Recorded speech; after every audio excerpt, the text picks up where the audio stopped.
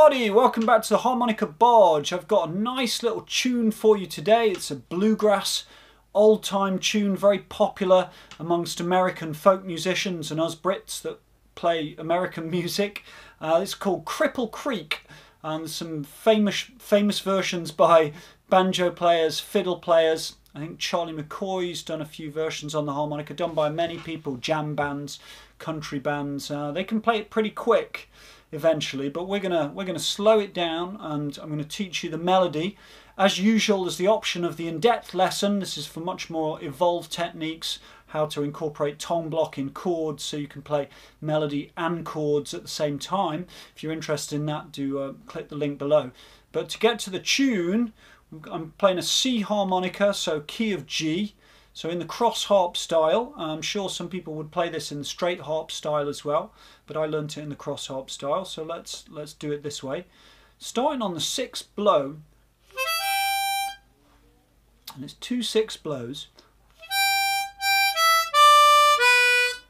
Take that as the first phrase. Six, six, five, four, three. Now, if you can resist using the tab, of course, I would recommend that. Trying to do it by ear, the joy of YouTube, you can just simply rewind me uh, and go back, go back. You don't have to do it with the record anymore, like musicians used to do it. That's how my dad learned to play harmonica. Um, probably, I'm not sure if that's true. He does play harmonica. I don't, I don't know if he learned that way. so.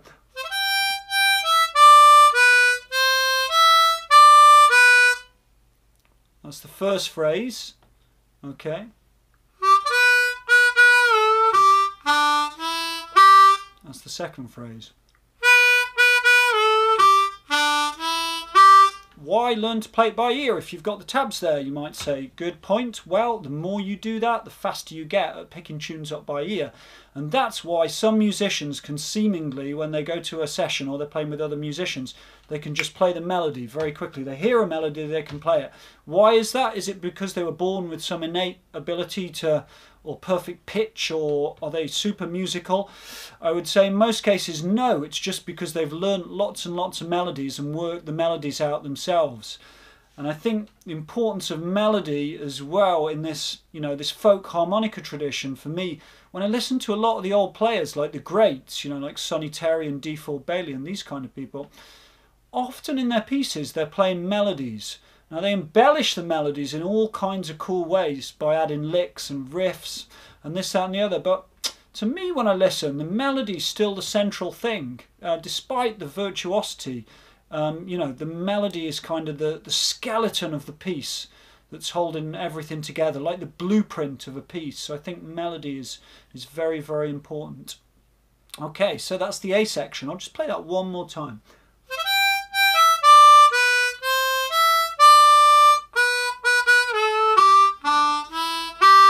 Course, you've got that three double step bend. Check out my other video uh, on how to help you with that. That's going to be a bit of a challenge. Even if you could do it and miss that bend out, you could even, a little trick, if you wanted to play the tune, often works to substitute a one draw for that bend.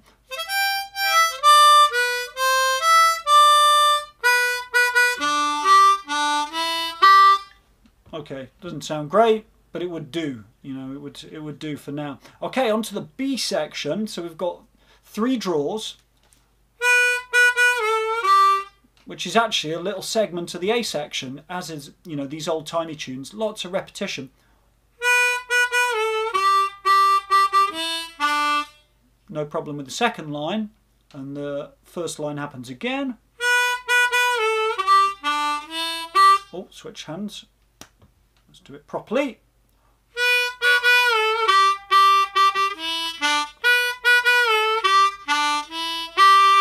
Now you might want to, when you play those faster notes,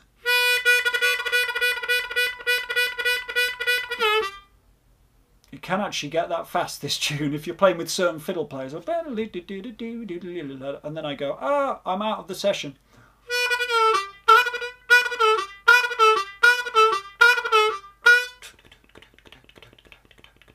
You could do this tonguing thing. It's kind of cool as well because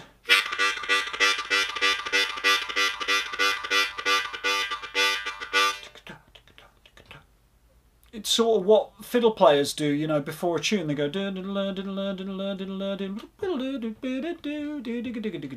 so you're kind of emulating that, which is cool.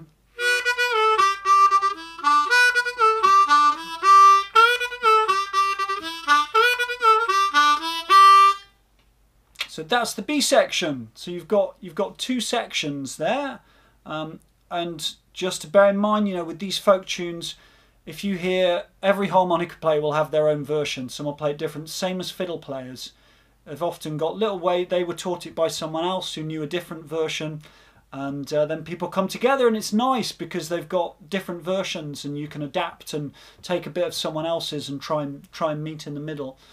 So what's really cool with this tune for me is I, I do this as a as a solo piece is to then start to incorporate slaps and octaves and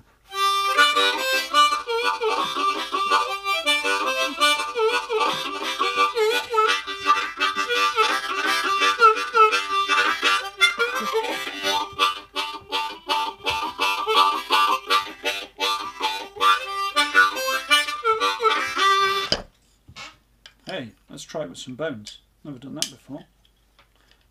Need to practice my bow.